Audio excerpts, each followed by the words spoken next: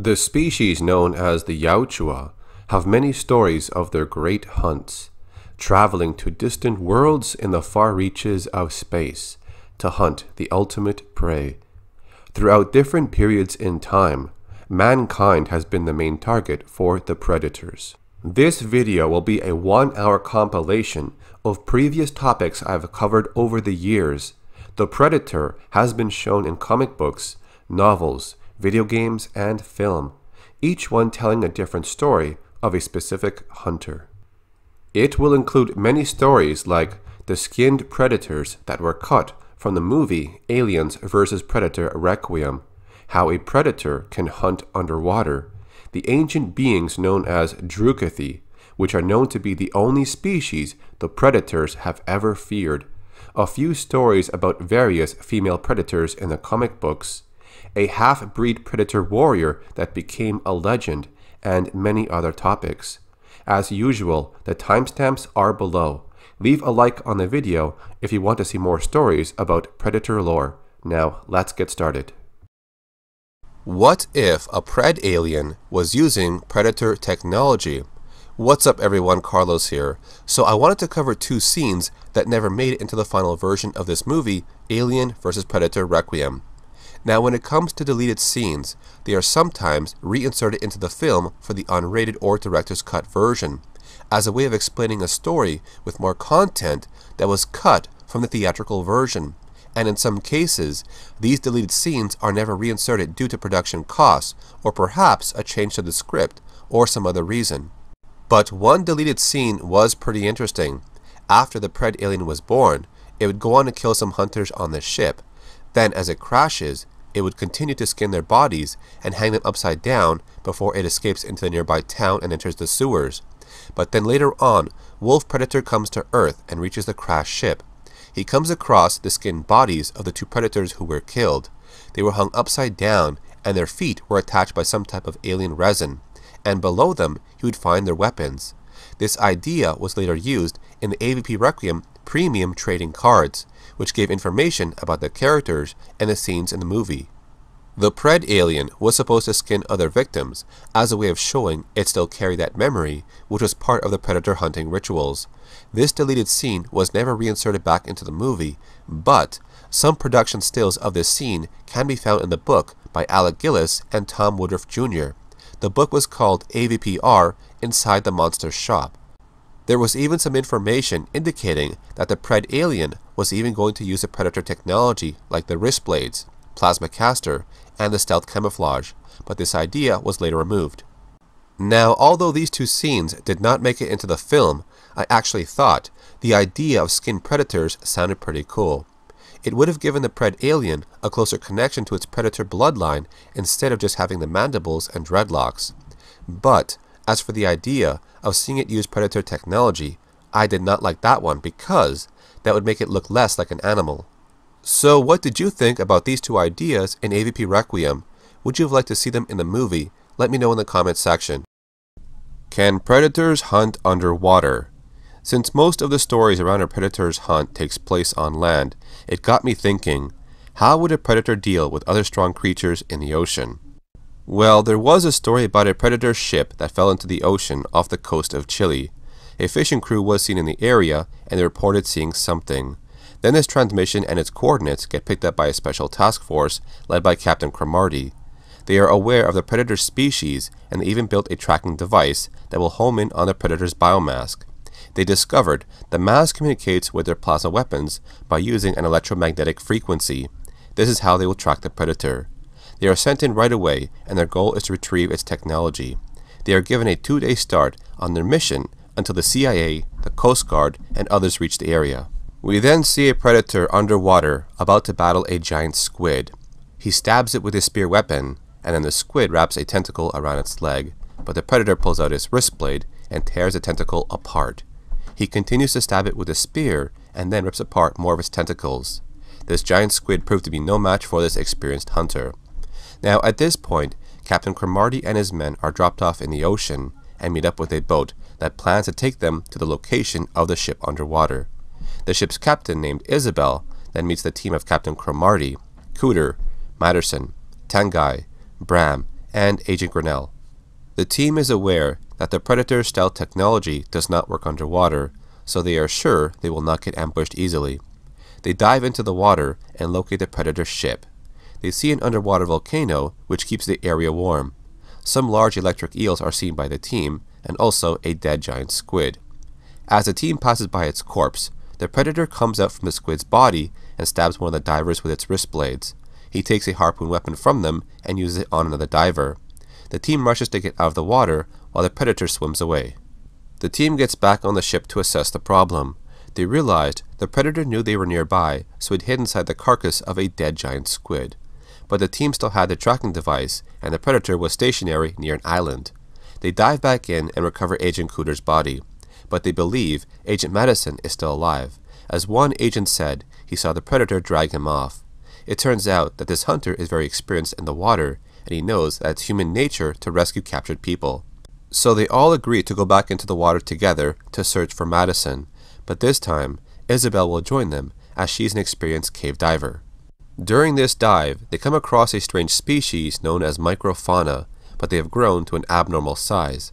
The team finds a small hole that leads to an underwater cave, so they split up into two groups. While one team guards the exit, the other looks for Madison. Then one of the microfauna creatures finds Madison, but the predator kills it to keep him alive, using him as bait for his team to rescue him. The predator takes off his biomask and places it on Madison, so his team will track the wrong target. Meanwhile, the predator uses another breathing device as he moves around invisible to their radar. One team locates Madison and realizes the predator knew he was being tracked by his biomask, so he left it behind.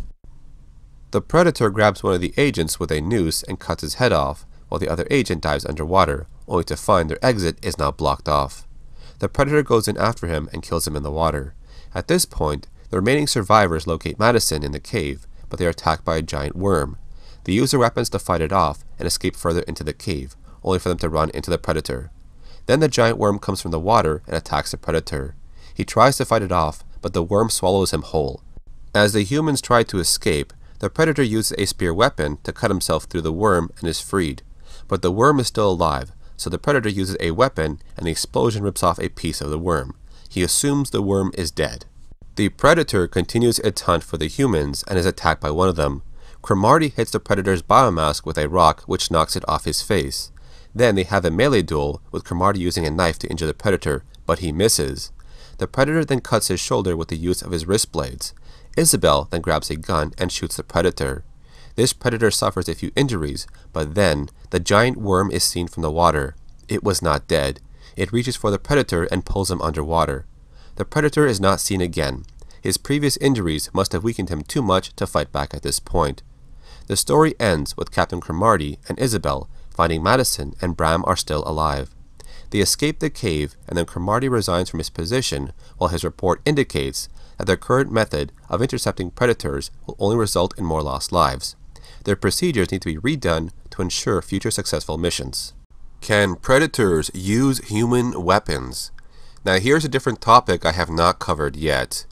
Now, there have been some stories about human characters using predator technology, and it's been displayed mostly in the comic books and in the movies a little bit. The concept of human predators was accepted by most of the fans, but what if we turned that idea around? What kind of reception would we get from the fans if we saw predators using human technology? Well, in the comic books, there was a story about a predator landing on Earth, and when his ship was taken by the local army, he sets out to hunt humans in the area. The predator makes his way to a nearby town and is attacked by some soldiers. He kills them off and later on gets a hold of a rifle weapon. It is then shown to make adjustments to the weapon, possibly turning the safety switch off so it is armed. As a soldier named Corrales is scouting the area, he comes across the predator and the hunter fires the rifle weapon upon him. After this incident, the hunter goes back to using its shoulder cannon weapon. So it's a very rare thing to occur in the comic books, and this idea was once again used in the arcade game of Alien vs. Predator, where any of the two hunters could pick up human weapons and use them. This would include things like throwing knives, grenades, pulse rifle, flamethrower, grenade launcher, and the smart gun.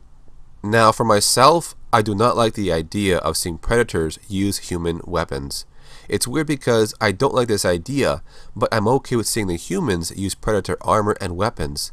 I guess for myself, it's because I'm more of a Predator fan and I want to see their technology more often. Now, in the same story, there's also a scene of a predator using the head of a victim and throwing it at a driver. It's another rare thing to see, but once again, this is coming from the comic books, where they have explored on a lot of things we don't see in the movies. What have humans learned when they captured a predator? Throughout the different sources, there have been a few times when the humans would try to study a captured predator. But what did those tests involve, and what was the outcome? Did we learn anything about their biology, intelligence, and technology? Well, let's find out. In the video game Predator Concrete Jungle, Hunter Borgia would lead an organization that was built upon the Predator blood and technology. At an early age, Hunter Borgia was a sick child, but when he was exposed to Scarface's blood, it granted his body the strength it needed to survive. It also gave him an extended lifespan, which allowed him to retain his youth while he aged. As time passed by, Hunter Borgia would study the creatures and learned they were hunters, and he used their technology to create his own weapons. When they would come back to Earth, he would capture them and vampirize their blood for himself. And over the years, he learned that the predators are just animals with habits, and in habit lies vulnerability. The same concept was used in the comic book called Alien vs. Predator Eternal, a man named Gideon Soon Lee ran a company who would employ special mercenaries to hunt down the predators on his behalf. Mr. Lee admitted to being 38 years old, but for the last 700 years, the predator blood would extend his life so he could live longer. During the early story of this comic book, Mr. Lee was on the brink of death until a predator ship had crashed nearby. He saw this as an opportunity. Their technology was then reverse engineered to make similar weapons that humans could use. And of course, Mr. Lee would use his team to cover up any secrets about him. Now, in another comic book about Machiko Noguchi, a group of predators arrived on the planet Ryushi to hunt. A clan leader known as Broken Tusk or Dashande was injured by a human who saw them, and in the process, their ship gets destroyed. The clan then decides to take revenge on the humans. Dashande's body is later found by humans, and so they bring his body to their base. Dashande is placed in medical care while his wounds are healing. The group overlooking his recovery would then go on to discover some things about this species. The predators breathe a mixture of methane along with traces of other common elements. The humans would also learn that these creatures would bring an impressive arsenal of weapons, some things that would be used during a hunt or an invasion. These predators would also return to a specific planet to hunt numerous times, as the Rhynth hide was seen attached to a weapon. Now, in the video game from 2001, Aliens vs. Predator 2, the main predator of the story is named Prince. After he was captured, the scientists who were looking at his biomask had a theory. The markings on his biomask matched those from the Zeta site, possibly indicating he was an elite hunter, or maybe even a prince of a royal bloodline, considering how one predator in the story would bow down before him. An examination of the hunting spear weapon was also conducted. At first, the scientists thought it was made up of a magnetically suspended monofilament, but when they cannot figure out what the spear is made up of, they later learn that the blades on the spear are strong enough to cut through steel. The scientists also conducted a test on another captured predator. When they tried to remove the wrist gauntlet from its arm, it resulted in the predator dying. Their society seems to prefer its warriors to die instead of being disarmed. Now, in the comic book called Predator Captive, one subject was taken alive and his arm was amputated before it could activate the self-destruct bomb. While the gauntlet and arm were kept in a container, they feared any tampering with the device would set off the bomb, and so they focused their attention on the captured predator. It was kept inside a biodome that simulated the climate and environment the predator was used to. Tyler Stern was trying to make contact with these creatures to learn from them, communicate with them, from one intelligent species to another. He wanted to unlock the secrets of their biology and physiology. Now, at first, they gave it livestock, but it did not seem interesting, and so they relied on giving it something more lively. Humans were sent in as sacrifices. The Predator would stalk them and kill them, and Mr. Stern would document everything about their behavior. But one thing he overlooked was that this alien creature was a hunter. It knew how to remain patient. It later on tested the security measures around the biodome and it secretly planned a way to escape somehow. It even faked its own death somehow to lure the security team inside. And after wiping them all out, Mr. Stern decided to go inside and he brought with them the Predator wrist gauntlet. The ending shows that no matter what, this Predator was not going to let the humans keep his technology. The self destruct bomb was activated and it wiped out the base and also all the evidence. This Predator proved to be patient and intelligent in its approach. So that covers a bunch of information that's come up when humans had captured a predator and done some testing. The cracked tusk predator was featured in the comic books of Predator Life and Death. The story starts off with the crew aboard the Hasdrubal ship. They reach the planet LV-797, which was scheduled for colonization and terraformation. It was one of many planets already claimed by Weyland-Yutani. There was suspicion that a rival company had sent in unlicensed prospectors to strip the planet of any assets, and so a team was sent in to investigate and prosecute anyone involved in illegal activities. When the Marines reach the planet also known as Tartarus, they have no idea that a predator hunting party is already stationed here. One group of Marines uncover a wrecked lander which was hit by some type of energy weapon, and amongst the rubble a survivor is found, Lawrence Good. He was part of a team that came to strip the planet of anything they could find. He seems to have been struck by fear when he tells them that this place belongs to someone else. He is then taken back to base and interrogated. The same group of Marines later come across an engineer spacecraft. As they get closer to investigate, they come under attack by predators who are guarding the ship. The Marines start to shoot in all directions. Some predator blood appears on the local vegetation. It seems they hit something. But before they can organize a new plan, Crack Tusk appears and kills a marine named Garland. This hunter goes invisible and is then aided by the Hive Wars predator that carries a large scythe weapon. Back at base, some new survivors show up to join the Marines and they explain these hunters were here before any humans landed on the planet. Their crew were led by Captain Humble and Melville. They came across the engineer spacecraft and their team was also slaughtered. Then, a second team of Marines is sent in to check on the first team that went missing, but they get ambushed by the Hive Wars predator. He kills a few humans, but is then chased down by Rucker and killed off. As the other predators show up, so do the rest of the Marines. A battle breaks out with the Marines having the advantage in numbers. Another predator gets killed, so they flee into the jungle and escape with any wounded hunters. The Marines are then split into two groups.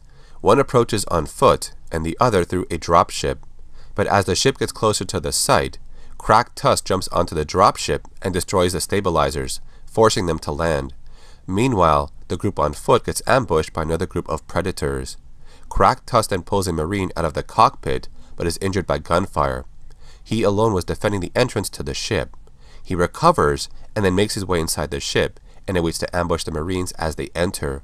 He realizes the marines are using a ground team with motion trackers to distract them outside so he contacts the other hunters to join him at the Juggernaut ship. The humans take control of the ship and it takes off, but not before Crack Tusk appears and attacks them, ripping the head and spinal cord off one human, then using it as a weapon. He puts his attention on another human. He tries to attack with its wrist blades, but he misses and ends up stabbing a sarcophagus and gets stuck. Unable to fight back, he is then killed off with a pulse rifle. Although his story ends here, the Marines controlling the ship now have a new threat to deal with. The gunfire upon the sarcophagus has awakened a dormant engineer, which leads to another story. The Crack Tusk Predator was a toy figure by the Kenner Company, and a new updated version was later made by NECA. Even though he was known as an elder predator, he chose to stay on the battlefield to lead a hunting party into combat. He was also a survival specialist that endured some harsh environments, like the lava deserts on Yautja Prime and the cold climate on Fiorina and Rim. Before his death, he also had a reputation of leading his hunting party on missions, coming back victorious, and keeping every member alive. One member of his hunting party was the renegade Predator, who was affiliated with the Jungle Hunter clan. Renegade would sometimes join them on hunts, hoping he would claim his first xenomorph trophy with them. Predators Fearless hunters with advanced technology, a species that hunts for honor and status amongst their clan. While the predators were known by many as the ultimate hunters in the galaxy, there is another alien species that was rarely known, and they were even feared by the Yautja. During the Rage War trilogy story, which included three novels, some details are mentioned by an elder predator who goes by the name of Kalacta, highly regarded as one of the oldest members amongst the Yautja species, being thousands of years old. He had a vast amount of knowledge from many hunts. One of his stories included a new alien species that were at war with the Yautja. They were an unidentified alien species. During the story of the third novel, Alien vs. Predator Armageddon, they were named the Drukathi. Kalacta mentions that this alien species was more ancient than humans, xenomorphs, and predators. They possessed technology that was much more advanced from humans and predators. He also mentioned that the Drukathi might be trying to control events on different worlds, and possibly even influencing current events amongst different species. One theory was that they were trying to control mankind's rise, to limit their reach in the stars, to make sure that humans do not become too advanced. Some information in the novels would later say that they came across Xenomorph XX121. They took an interest in the species and started to breed them and use them for their own agenda. The Drukathi's physical features were described as they looked like dog people, only big. They had four legs and two thin arms, with a very distinct shape of their cranium. Something very different about their technology is what was used to build it. While the predator ship appeared very technological, the Drukathi's vessel seemed to be more organic in appearance. Somehow, their ship was grown biologically instead of using mechanical means. It was also larger than a juggernaut ship. This gives more reason to believe that the Drukathi had a vast amount of knowledge in biotechnology. The Drukathi were believed to be millions of years old. During a mining expedition on LV-178, the Drukathi were discovered within some ruins.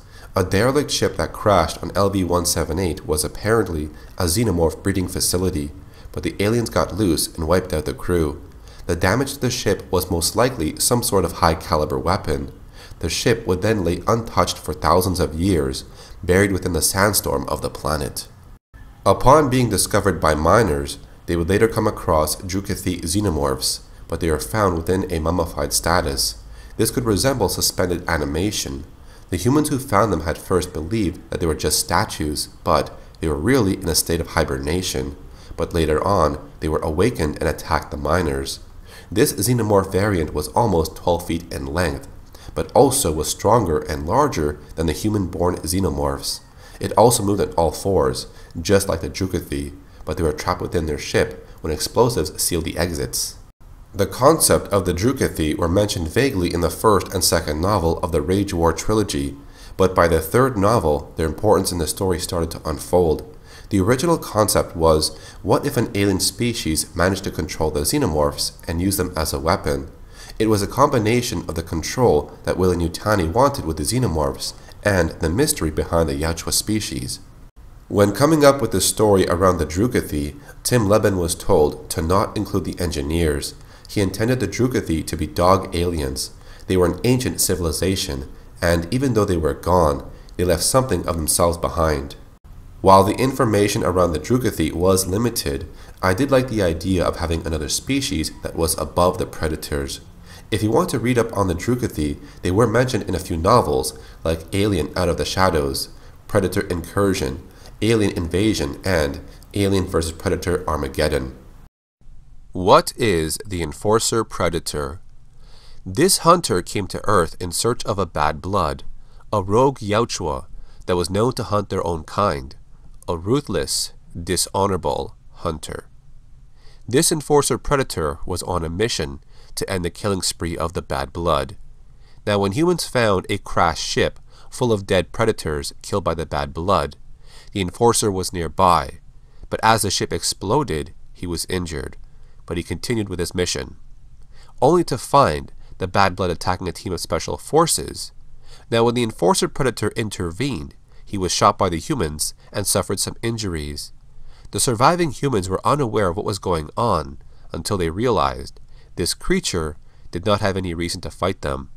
It left them in search of the bad blood who escaped during the battle. This was the perfect time to attend to his injuries, pulling out the bullets and mending his wounds. Meanwhile, the bad blood was relentless. It went on to massacre another team of humans in the woods. The enforcer would later find the bad blood and they would battle, both of them armed with different weapons. But the majority of the battle would be around melee combat. The enforcer would use his trusty combi stick, and the bad blood would use a bone sword. They would be equally matched, each one suffering injuries from the other. Now, when it seemed the enforcer was about to win, he stabbed the bad blood in the arm with its wrist blades. Victory was close, until another team of special forces would shoot at the enforcer predator. This would distract them to where the bad blood would rip the enforcer's biomask off and stab him in the chest with it. Because of these humans, the enforcer would fail in his mission. Right before he died, he gave a tracking device to a human named Mandy. It would lead them to his pod, which the Bad Blood was planning to use to escape the planet. The Bad Blood was eventually killed in the end by a human. Although the Enforcer was close to victory, because of the humans, it died. Now this predator could be seen as the police force of the Yautja species, or even, as far as saying, they could be bounty hunters but are deployed for special missions. The Predator universe is full of many stories.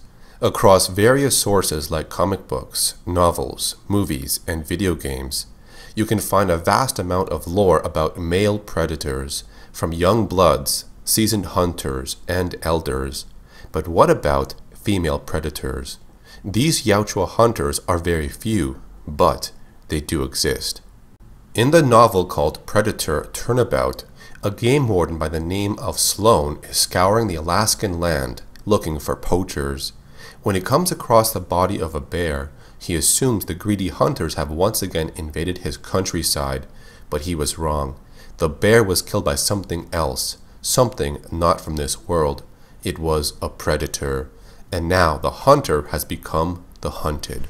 By the end of the story, Sloan and his wife survive a battle against another predator. But their story does not end there. The Predator anthology novel called Predator If It Bleeds included 16 new stories, and the one called Rematch would bring back Sloan for another story, but this time he is hunted by two predators, a male and a female. Around nine years after the incident in Alaska, Sloan has now grown old, and along with his wife Mary, they live a quiet life in the Oregon forest. While they think their encounter with the predator is over, little do they know that they are being hunted once more. A male predator by the name of Nakande and his female mate named Vagouti are now on Earth, and they are looking for the man named Sloan to avenge the death of the fallen predator in the previous story. When the two predators locate Sloan and his wife, they assume Sloan's old age has withered his hunting spirit, but instead they decide to search for other prey. Even though Sloan has grown slower and weaker, it does not mean his hunting skills were affected, something the predators will learn later in the story. Nakande says, This old man is not worthy of a hunt. The trophy would be meaningless. We traveled across the galaxy for this Uman. He is not the warrior we learned about. But Vagouti reminds him, This man defeated one of our brothers. Do not underestimate him. And so the two alien hunters look for other prey to prepare themselves. They end up taking out some bikers growing a meth lab. The gunfire alerts Sloan that the alien hunters are back. Nakande says, Little sport here, just target practice. Vagouti responds with, They were inept, but they were what was available for now. Hoping that Sloan still has some of his former skill, they both agree to then look for Sloan, the sniper, but Nakande still doubts that Sloan is worthy prey, saying that he is not scared by a mere story. He boasts of the time when he defeated a Kainde Amedha in single combat, and an old Uman is easy prey for him. As Sloan and Mary make their way to the biker's location, they bring along some firearms and ghillie suits. They set up a sniper point and wait. As time passes by slowly, Sloan mentions his eyes have not faded over time. He knows the alien hunters have stealth camouflage, but he knows what to look for. Before they know it, Nakande ends up getting shot in the lungs and is then unable to continue on. Before he dies, he regrets underestimating Sloan. His old age has sapped his speed and strength, but not his skill. Vagouti mourns her fallen mate, but just for a moment. She then disables his self-destruct device, so she has time to hunt the Umans herself. Later on, the local deputy named Mac is also investigating the deaths of the bikers. He comes across Sloan and Mary in the woods, and they explain something is hunting them. Vagouti locates the Uman's vehicles and disables them with her wrist blades. She then hides in the trees, patient and waiting for her prey. All the Yautja before her had failed in hunting Sloan. She would not make the same mistake. The old Uman and her mate were no less deadly than the stories she heard, and now her plan was to kill them quickly. While she waited for them at another location, she identifies a new target helping Sloan. A vehicle is then brought in to help Sloan escape. Vagouti decides to kill them all when they enter the car. When Sloan fakes himself entering the car, he aims and fires towards a large branch that could support the weight of the predator. Sloan's shot hits something for sure, and then he hears the sound of something hitting the ground. Sloan rushes in and pulls out his revolver, firing at Vagouti's body some more. Her body was smaller and thinner than the last predator. They realized it was a female. Vagouti activates her self-destruct device and then dies, but Sloan and the others manage to escape the blast radius and survive. And this ends the story of Vagouti, the female predator. The female predator, known as Sister Midnight, was in a story about the darkness, Witchblade, aliens, and Predator. During a story about Sarah Pezzini, who was in possession of the Witchblade, she was part of an undercover mission, only to find the xenomorphs had started to appear on Earth. It was soon after that they were both attacked by the female predator, Sister Midnight, who seemed to target only Sarah. Jackie pulls her away and saves her life, then uses the darkness to attack Sister Midnight. The predator escapes by creating a hole in the ground, and as Jackie and Sarah follow her, they are led to a lair of alien eggs. This was in fact only a nightmare of what was to happen in the future. And as they both awaken, they realize they were captured by Kenneth Irons, the arch nemesis of Sarah Pezzini. They both later on escape, but find themselves aboard a spacecraft which is orbiting Earth, and it also carries a cargo of xenomorphs. Sister Midnight had also appeared on the space station, and upon meeting Sarah, she finds herself drawn to the Witchblade's power. She originally came here to stop the xenomorph infestation, but her predator comrades were killed by the automated defenses. She alone survived. Some time later, one of Jackie's darklings would wander off and comes into contact with a facehugger, which creates the Dark Alien, a xenomorph with features of a Darkling and the powers of the darkness.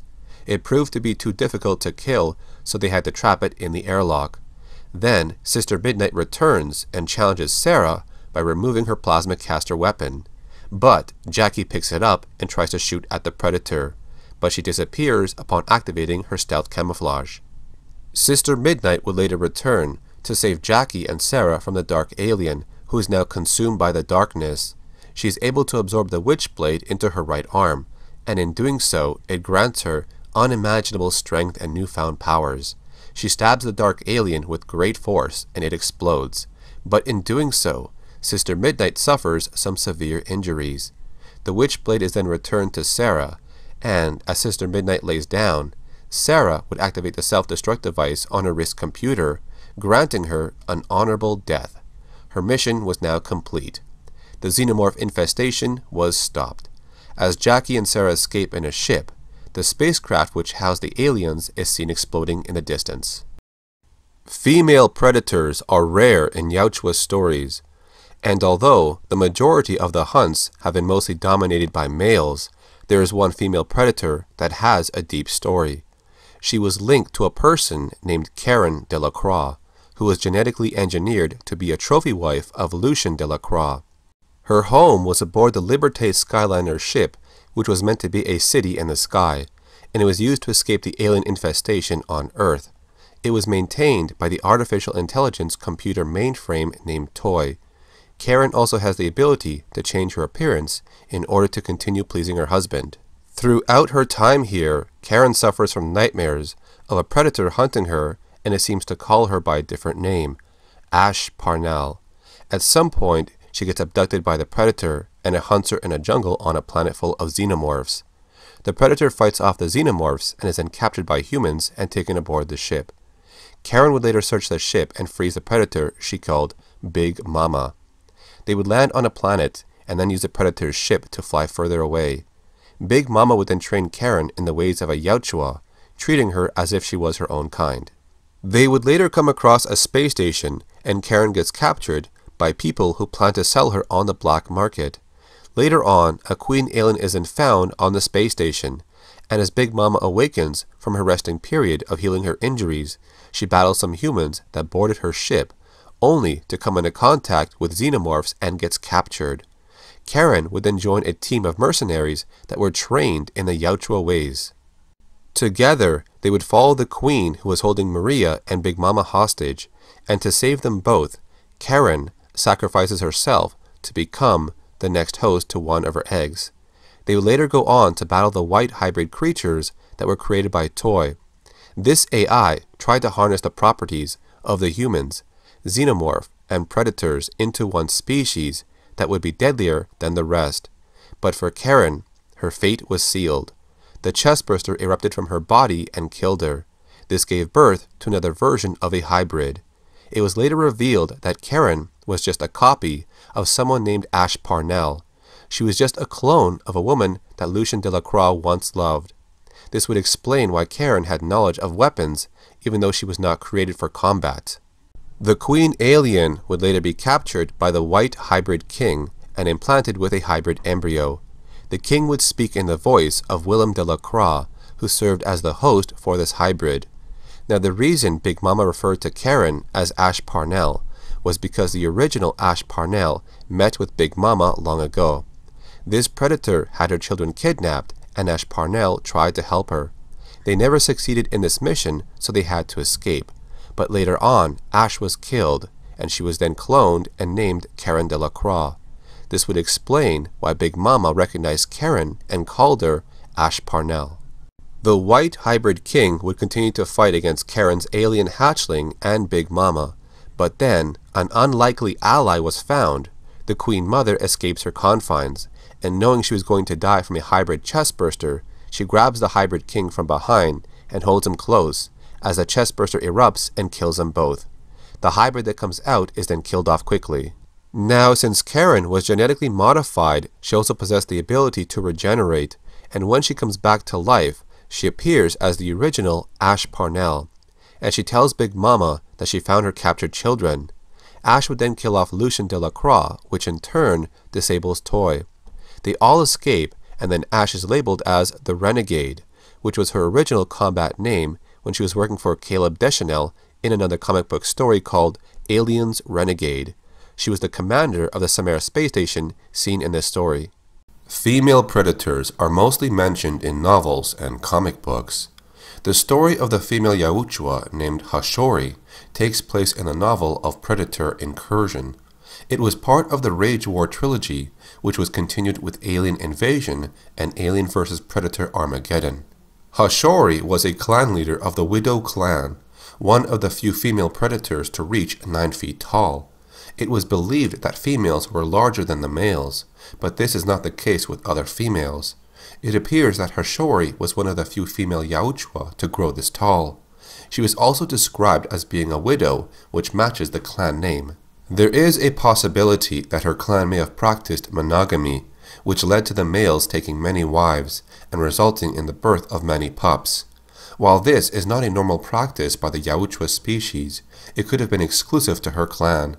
The Widow clan are a pack of female hunters who have lost their mates in some way. Now, unlike the other predators who hunt, Hashori was unique in that she did not wear any weapons or armor.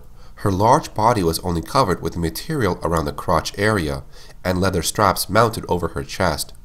The area around her torso had visible scars and battle wounds. but one noticeable feature about her face was that she had small eyes. She is also the only predator in the franchise to speak and understand English almost fluently. During the story, she is contacted by a synthetic named Lilia who is on a diplomatic mission. Lilia was part of a group of androids that found a way to control the xenomorphs. They renamed themselves the Rage. She later disagrees with their plans of genocide, so she steals their secret and runs away, trying to find someone who can stop them. Hashori takes Lilia onto her ship, the Zero Za, and ignores her message.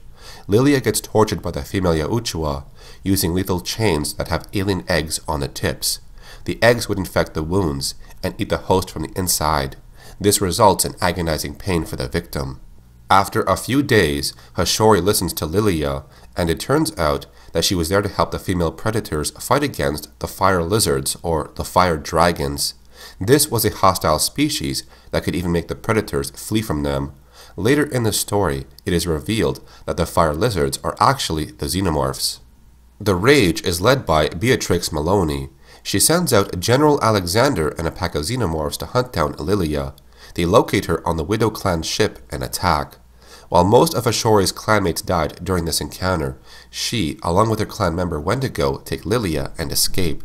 She vows to take revenge, but first, she must find other predators that can help her. While their clan ship is left abandoned, two human survivors from a previous event would later find it. They check the rage vessel that was attached to the ship, and inside its logs it gives out details about their plans. The Rage have taken over a fleet of colony ships. Each one contains thousands of colonists in suspended animation. These humans will become hosts to breed more xenomorphs.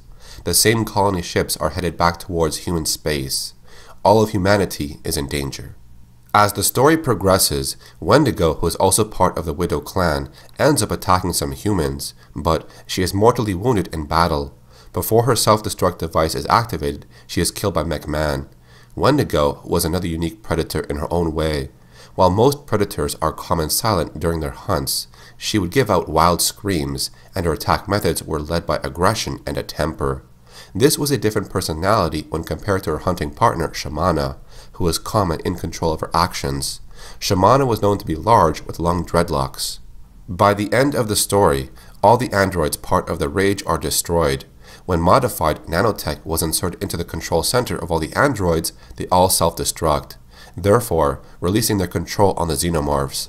Some survivors would then join Hashori on her pilgrimage to the Yautja homeworld. Greyback the leader of the Lost Clan seen at the end of Predator 2, also known as the Golden Angel. This predator was on Earth on two known occasions. It was first seen back in the year 1718 in the Guinea coast. During this time, it oversaw a crew of pirates led by Raphael Adolini. When his crew took money from a church, Raphael told them the gold would be returned to its owners. It is here when his crew turned their back against their former captain and decided to fight him to claim the stolen gold. Raphael was then forced to fight against his crew. Then a predator attacks one of the pirates and challenges Raphael to a duel. While Raphael was a skilled swordsman, he was able to stand his ground against the predator.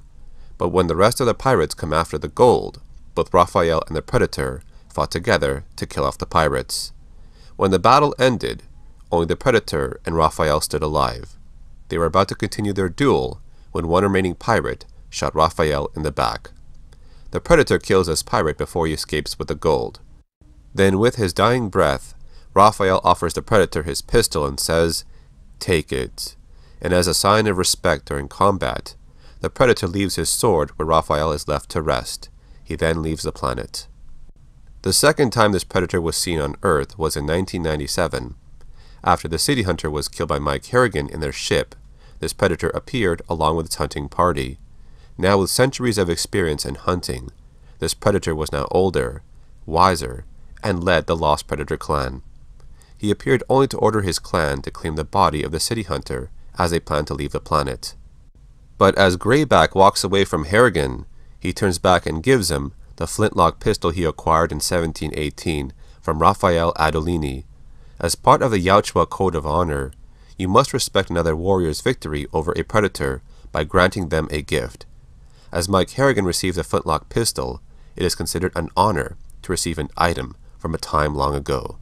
So the story of Greyback tells us of how during his younger years he was an honorable and skilled hunter, one of the few predators to stay alive during its recorded hunts, and also one of the very few to have ascended in their ranks of the predator hierarchy to become an elder and command his own ship of predators.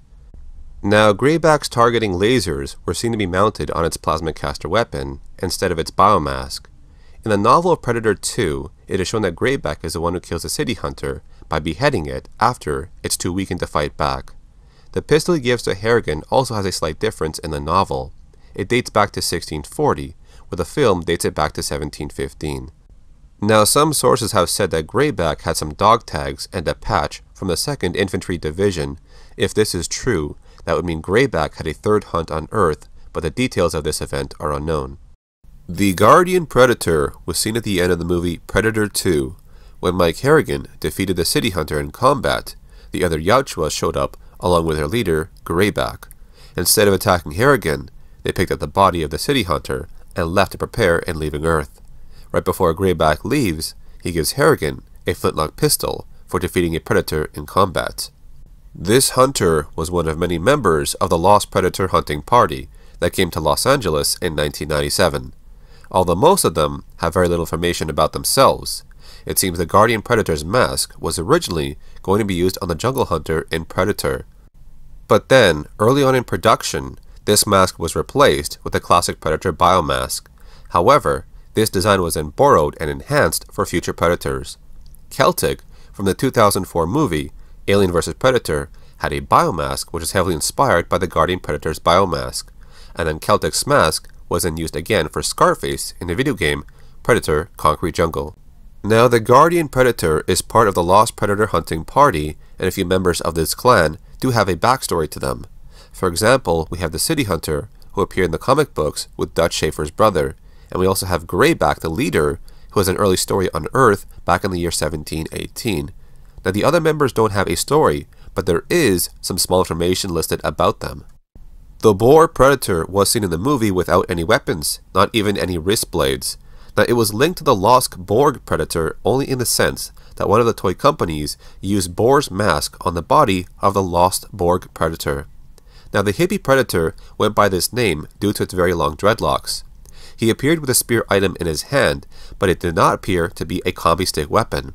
It's possibly an item used in their rituals, which is why he's also known by the name of the Shaman Predator. Then we have the Ram Predator, also known as the Warrior Predator. Although his mask has a unique design, he is also seen to have blue coloring on its skin. We also have the Scout Predator, who had a similar mask design of the original Jungle Hunter. It is believed that the Jungle Hunter's costume was used as a base for the other Predators with minor changes. That there was a Predator featured in the Call of Duty Ghost video game, and although it was meant to be based off the Jungle Hunter, it had some elements that resembled the Scout Predator. Another member of this clan is the Snake Predator, who is given this name due to the markings on its skin. Although the markings on its head have more distinct patterns, it resembles what you can see on a snake. The Borg Predator had the most unique armor in this clan. Its armor had a futuristic look to it. It was named the Borg Predator because of its similarity to the Borg enemy in the Star Trek franchise. And the last member is the Stalker Predator. Like the other Predators before him, he has no story, but is only separated by the minor changes in its mask design. Although its mask looks similar to the Boar Predator, it was also known as Baby Boar and the Brother Boar. Now the toy figure of this Predator from NECA actually had an additional item. It had a pendant that had the same design of his mask. Predators. A hunter race from far away. Savage, brutal, and intelligent. They possess technology that surpasses what humans have, making them the ultimate hunter. The predators are born to become warriors in combat, to hunt the strongest prey they can find. While they might seem barbaric in the eyes of others, these hunters follow a strict honor code within their society. Each predator is bound to the law of the hunt to have equal footing to the prey they seek. But what happens when that code is broken. It was a long time ago when the story of Nightstorm was born, a super predator who defied the laws of the hunt, a hunter who was once a strong, skilled warrior, full of potential and knowledge, one who would lead the next generation of predators. He spent countless years to become a master of the hunt, to be respected by his peers and elders. But on one day he threw it all away for the sake of his own glory. He went against the code of honor to walk his own path. He made his own rules in hunting, using forbidden tactics and weapons, hunting anyone, anything, and in any way he wanted. He gave up the code of honor to hunt by his own rules. He became the first super predator to defy what the elders had taught him. Seen as a heretic or a traitor, his teaching spread to others who would follow his ways. This would start the beginning of a civil war between tribes, a bloody battle that would continue eons into the history of the predator species. One side chose to keep their honor, while the others sided with Nightstorm. These super predators were then branded as enemies. As time passed by, the story of Nightstorm was never forgotten. While he was gone, his teachings still remained with those that followed his ways. However, not every student of him was as evil. Meet the descendant of Nightstorm. This is the story of the Scavage Predator. But what's unique about him is that he is a half breed, part Yautja and part Super Predator. He was raised in a small Yautja village during his younger years. He would later prefer a more nomadic lifestyle, and he has no official clan affiliation. Scavage is a direct descendant of the ancient elder Nightstorm. As a way to pay tribute to his great powerful ancestor, Scavage would forge his armor and weapons with a similar design, but instead of using gold, he would use the warrior's steel. Now, here's where things get very interesting. While he is a descendant of Nightstorm, the super predator who started the Civil War, Scavage does not follow the exact same path as Nightstorm. Scavage lives by the Yautja Honor Code. However, because of his silent nature and his deep respect for Nightstorm, the other hunters around him would get into heated discussions about him. Scavage would spend most of his time alone, showing no interest in dealing with others. He will only follow those he greatly respects, such as the cracked tusk predator. While he is mostly a lone hunter, Scavage is known to bring his hound on hunts. It's the only living creature he can truly trust. Another hunter that is linked to Scavage is the renegade predator. He is a young, brash, new blood Yautja with promise and vigor. He is part of the Jungle Hunter clan on Earth, the ones that took part in the event in Valverde from 1987. While Renegade is seen as motivated and headstrong, he tends to rush ahead of the other hunters in his tribe. He is seeking the thrill of being the first member to kill a target during that hunt. On some occasions, he would be seen to hunt with Cracked Tusk's tribe. He would study the old master as an apprentice, learning his ways and applying those methods to his own set of skills. The elder would also help the young hunter develop his unique hunting weapons. Both the renegade and scavage are linked to the cracked tusk predator. There's been some times when Renegade struggles to cooperate with Scavage. This is because the Jungle Hunter clan sees Nightstorm as a devil. Scavage looks up to Nightstorm, but does not follow his teachings. This tends to cause tensions between them, but Scavage has proven he follows the Honor Code. Throughout his many off-world hunts, Renegade has built up a considerable amount of kills. However, this new blood still seeks his first xenomorph trophy. He hungers for battle, honor, and to rise within the ranks. Despite his thoughts about scavage, he knows that remaining with this tribe is his best chance at achieving his goal. So this video was meant to focus on the scavage predator, but since he had ties to other hunters, I felt it was more appropriate that I include how each of them connect to each other. If you want more details about the legendary Nightstorm Super Predator I will leave a link to that video.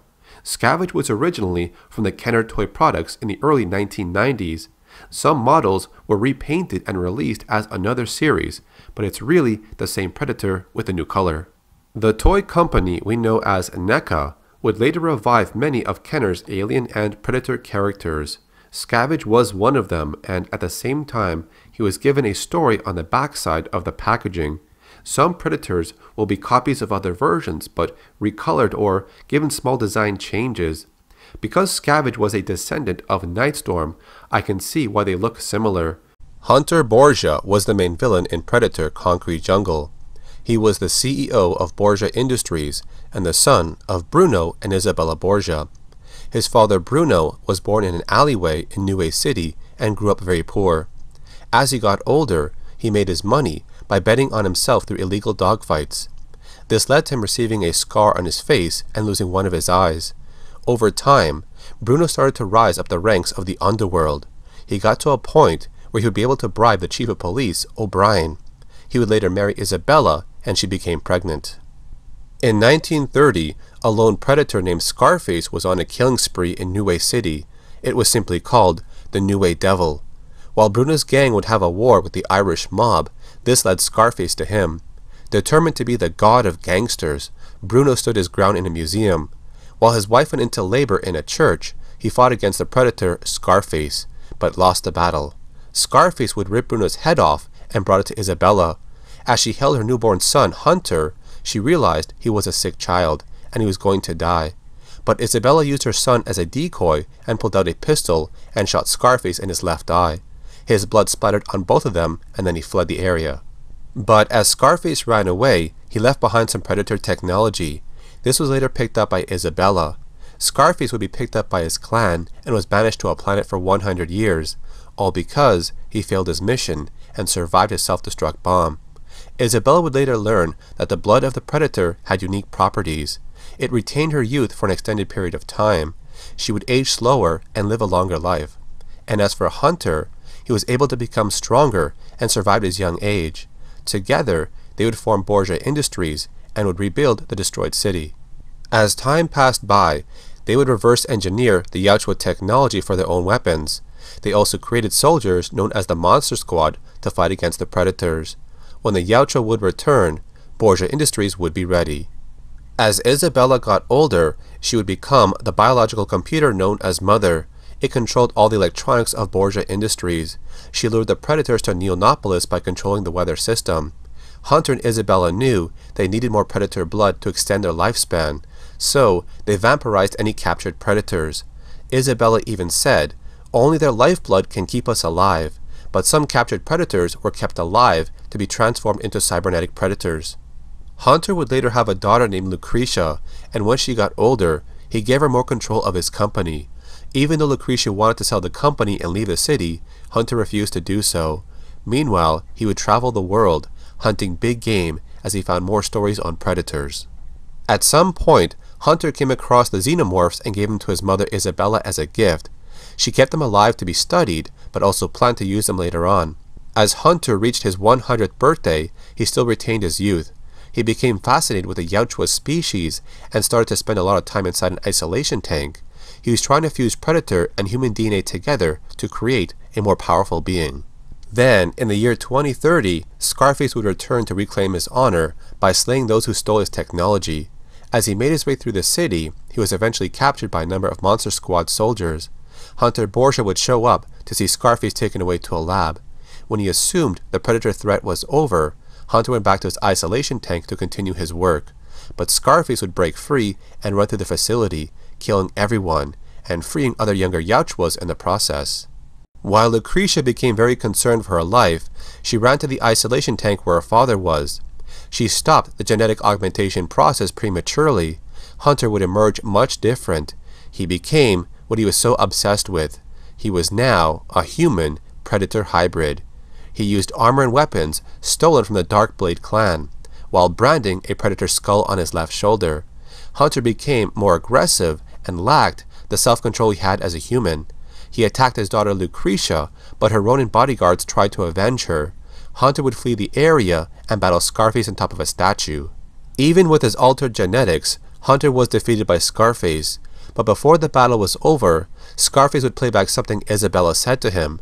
Mighty Bruno Borgia fathered a stunting weakling, but you made him strong. This meant that the blood of Scarface is what made Hunter strong and kept him alive so long. Hunter was not strong enough on his own. At this point, Scarface pulls out his wrist blades and kills Hunter Borgia. With his mission complete, he reclaims his honor and joins his clan once again. Before the story ends, we get a glimpse of the current Mr. Weyland, who bought out Borgia Industries. They also show us the new host chosen as a new biological hard drive for Mother. It was Lucretia. It was even mentioned that Hunter Borgia was friends with Charles Bishop Weyland before he disappeared. This was referring to Mr. Weyland that was in the 2004 movie Aliens vs. Predator. Hunter Borgia was a very interesting villain for this game. He was calm, intelligent, and strategic when he would capture predators. Throughout the story, you could tell he spent a lot of time learning about their hunting patterns and methods. His fascination towards the Yautja species is what pushed him to want to become stronger than them. But one thing I'm left wondering is how strong he would have become if Lucretia did not stop his genetic augmentation process prematurely.